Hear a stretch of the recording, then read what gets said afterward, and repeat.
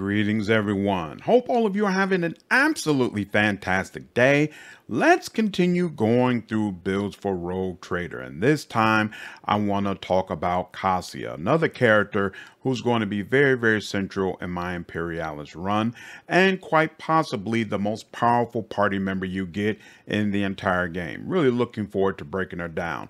Before we get into what the archetypes provide, we need to talk about a couple of things that she automatically comes with.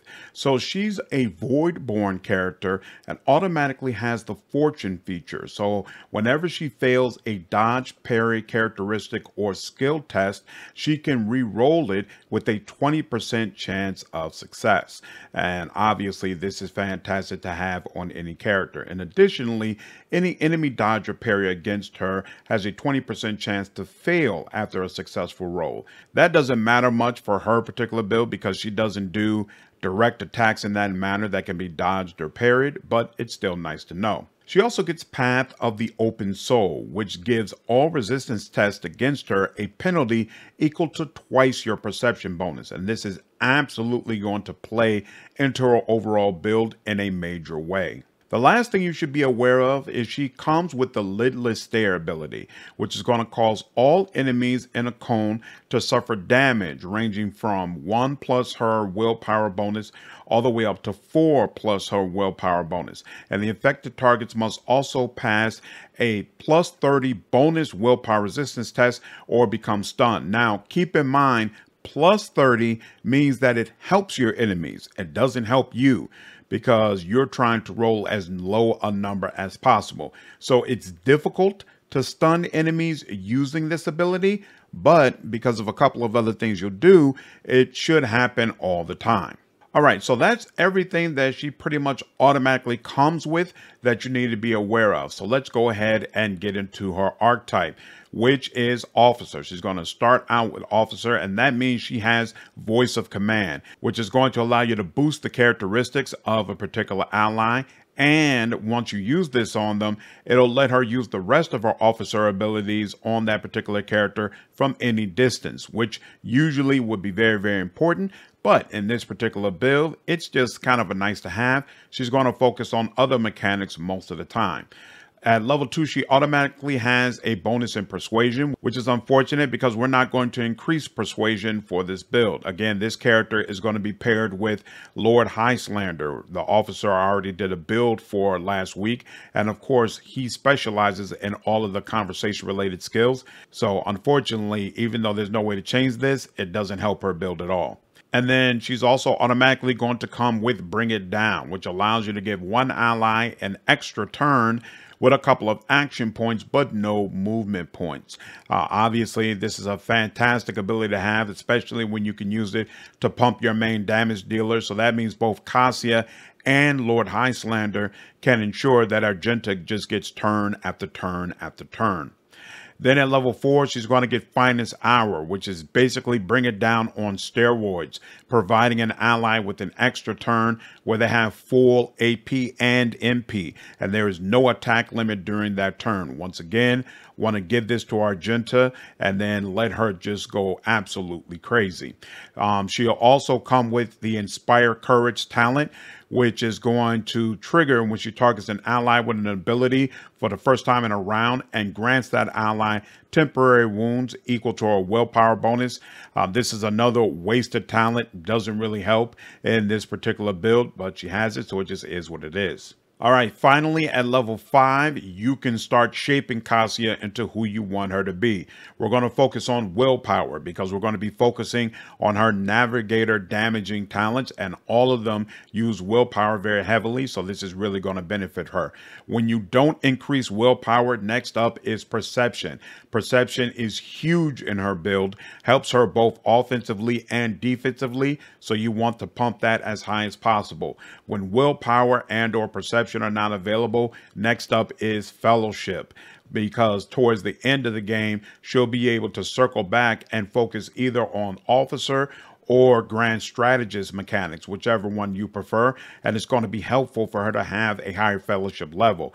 And even beyond that, toughness, weapon skill, and ballistic skill do absolutely nothing for Cassia. So there's just no reason to sink any points into them. For your first talent, you're going to take Eye of Oblivion, which is going to cause all enemies within Cassia's line of sight to have their dodge and hit chance reduced by twice her perception bonus.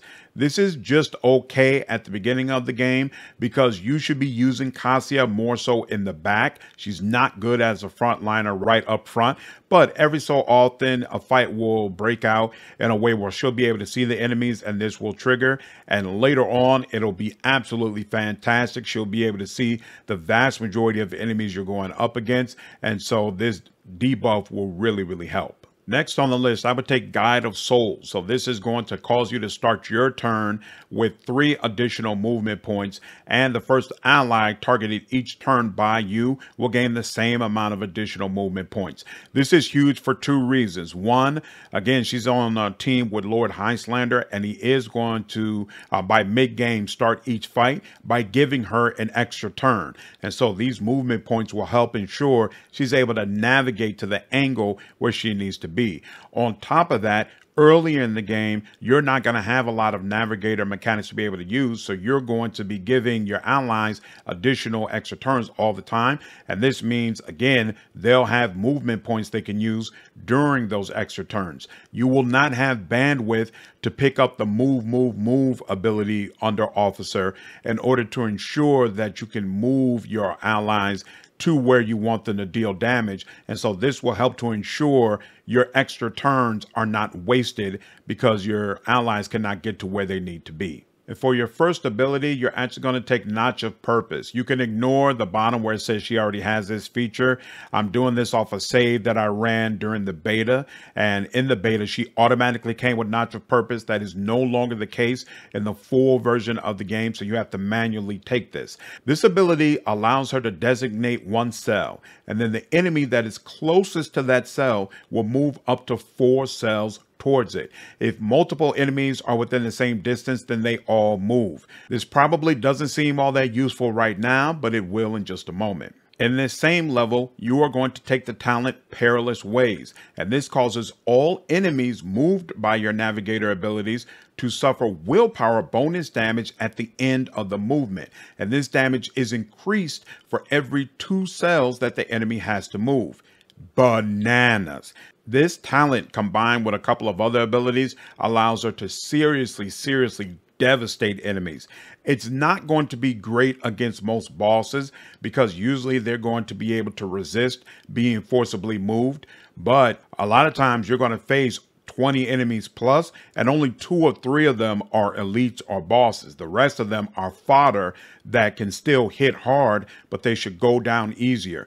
Enemies like that, these force movement abilities that you pick up will absolutely tear them apart. Next up, take ebb and flow. Every second and fourth turn, you're going to gain an additional action point. On the first and third turn, you're going to gain 20 perception. The 20 perception is just okay right now. It's going to be a monster part of your build later on.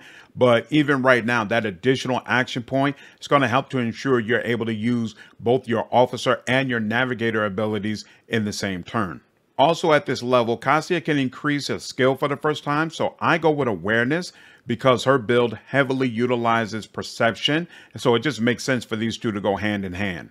Next up, you can increase your finest hour heroic act, and I will go with the first upgrade, which is going to allow the ally that you select to deal extra damage, and until the end of combat, they're going to gain the effect of voice of command. So those characteristic bonuses are going to stay in place. Very nice. At the next level, you can no longer increase willpower, so remember to switch over to perception. All right, so now at the next level, you're really, really close to picking up an ability that is one of the best abilities in the game, but to make full use of it, she needs to be on the front line, which means the next few talents that you pick up are all geared around making sure she can stand on the front line and survive. So we're going to start with pass unscathed, which is going to allow her dodge to be calculated using perception instead of agility. Obviously, this is very helpful for her.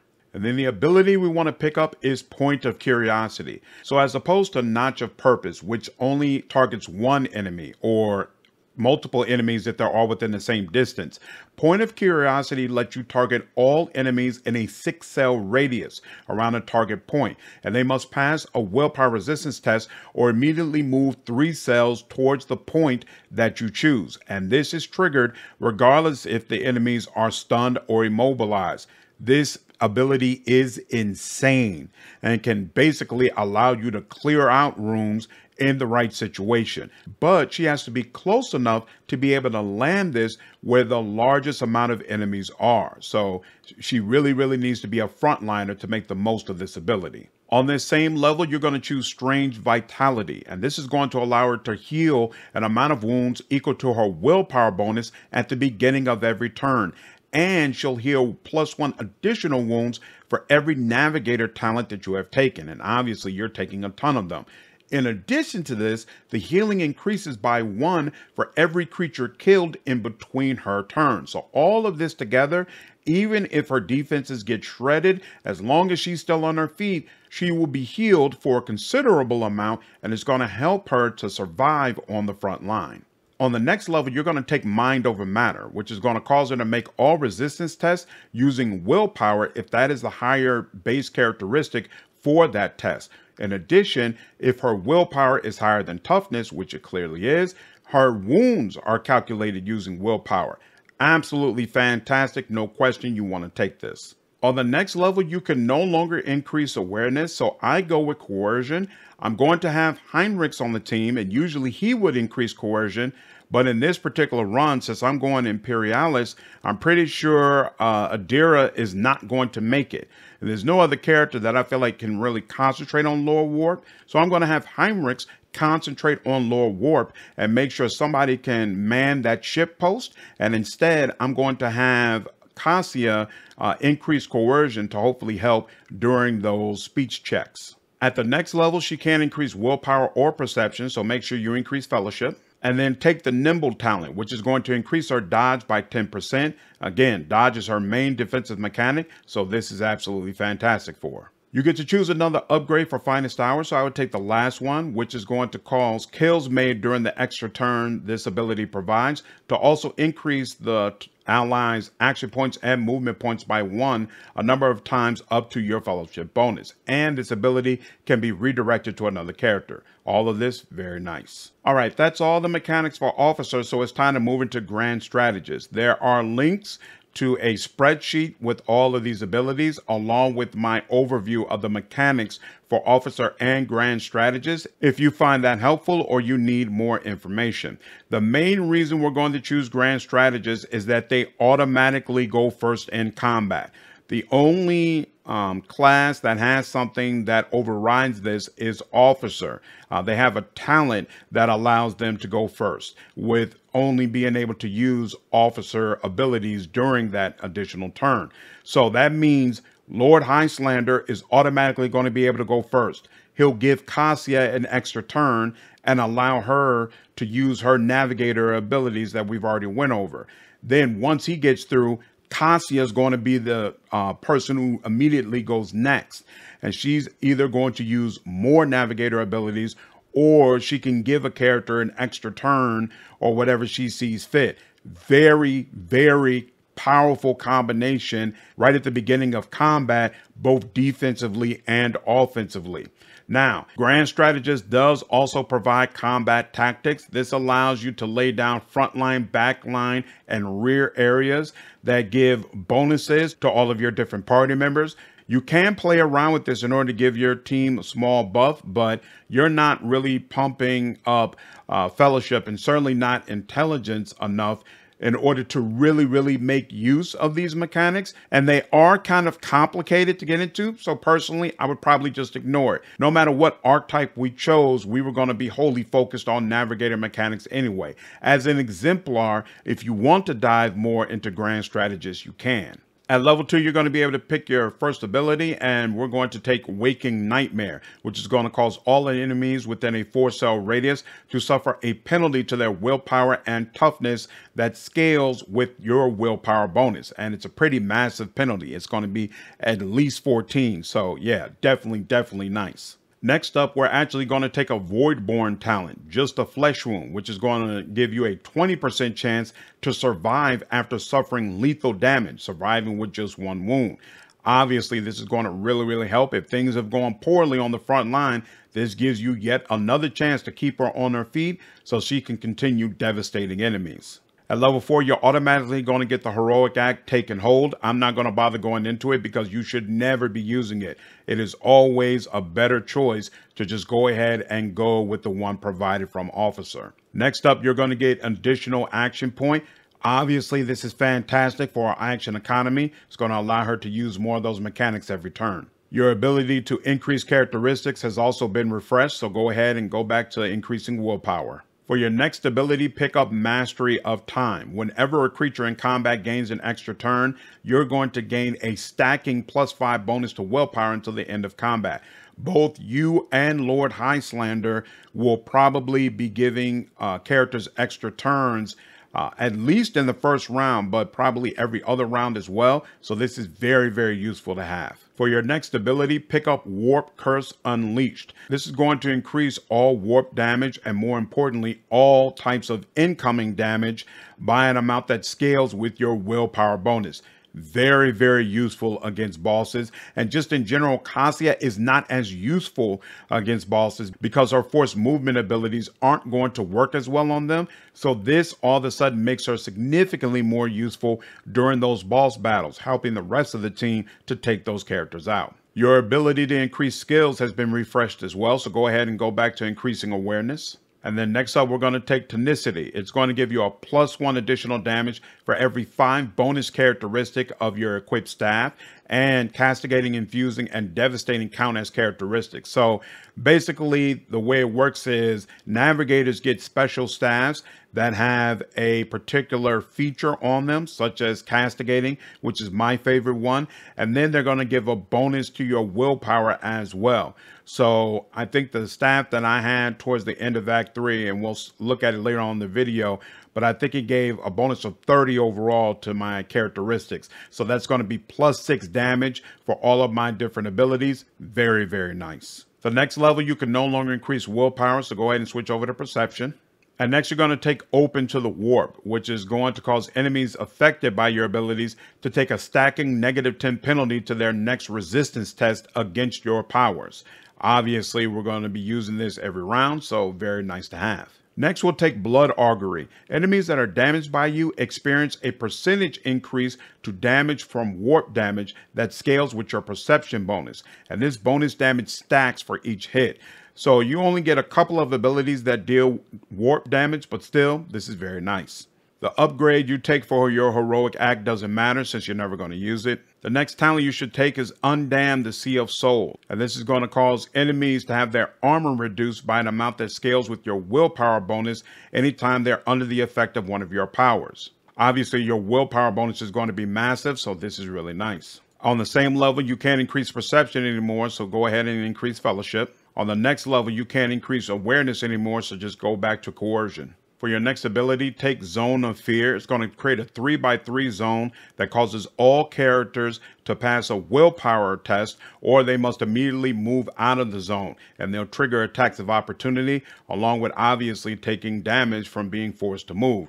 So very, very nice. This basically gives you another way to damage enemies. Next up, take threads and faults. Whenever an enemy fails a resistance test against you, attacks against them gain a bonus percentage chance for critical hit chance that scales with your perception bonus. The effect stacks but is reset by a critical hit. Obviously, you want your party members getting critical hits left and right, so this should help. And then the very last navigator talent that you should take is Unnatural Allure, which is going to cause you to gain a plus five bonus to fellowship and an additional plus one to fellowship for every navigator talent and or navigator power taken. This is going to help to make up for the fact that you've been ignoring fellowship this whole time.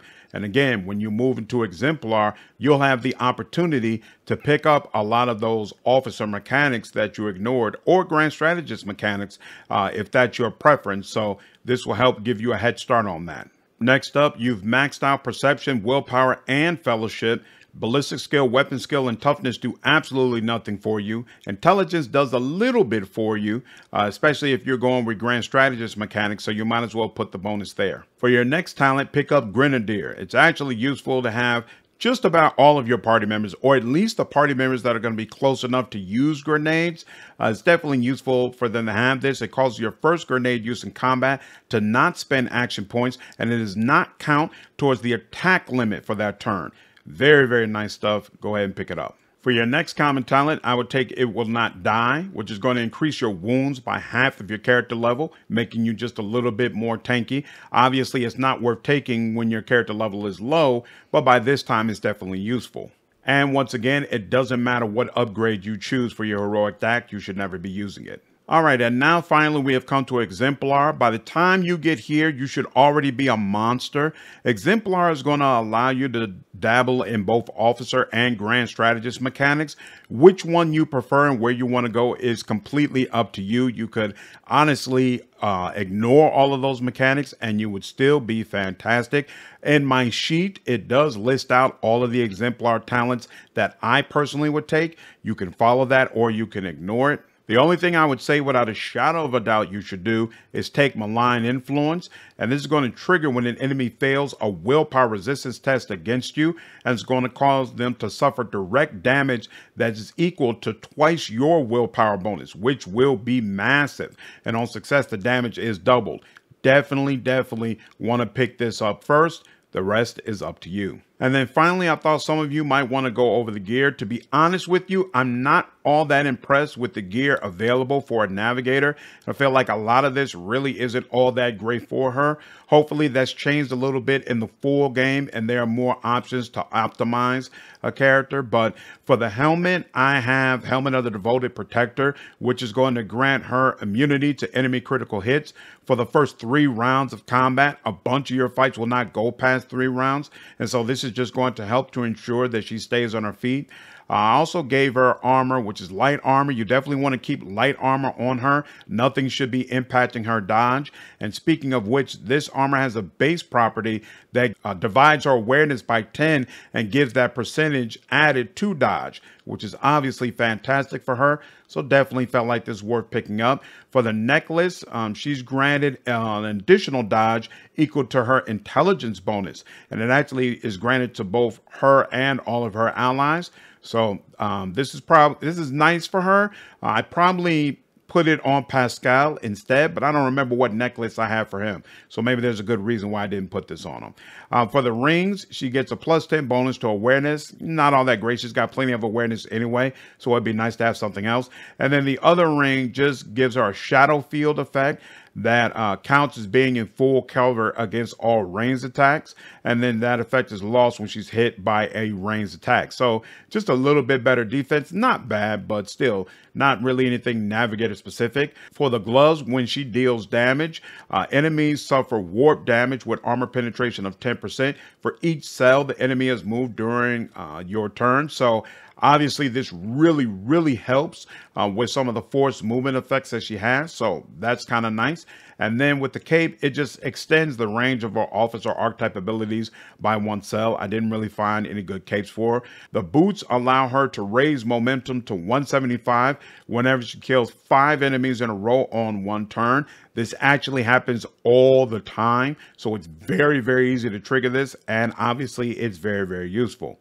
And then finally for her staff, she's got a warp focusing staff. It's got the castigating effect, which is definitely the effect that I prefer the most out of all the different options because it's going to inflict a penalty to all the characteristics of enemies that are targeted by my powers. And this uh, penalty can actually stack every time I use powers against those enemies and enemies that are targeted by her suffer 11% more damage from all sources and it stacks a number of times up to her perception bonus so just all the way around this is fantastic and of course it's also increasing both her willpower and perception which are her key characteristics. So, yeah, this is great. And that's it. Hopefully, this gave you an idea of how to effectively use Cassia for your own run. As always, if you have any comments or questions, leave them down below and I'd be happy to help. And I'll see you all in the next video. Take care.